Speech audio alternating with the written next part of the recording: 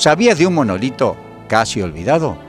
El 3 de enero de 1915, una comitiva encabezada por el gobernador Cárcano llega a las tierras de Don Carlos Paz para dejar inaugurado el primer tramo del camino de las altas cumbres.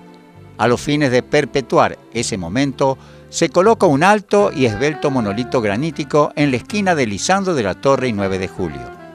Reformas de esta última calle en 1957 lo trasladan frente a las oficinas de la Policía Caminera, hoy Informes de Turismo.